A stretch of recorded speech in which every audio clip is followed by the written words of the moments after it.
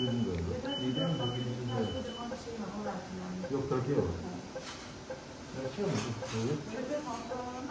그러면 시험 다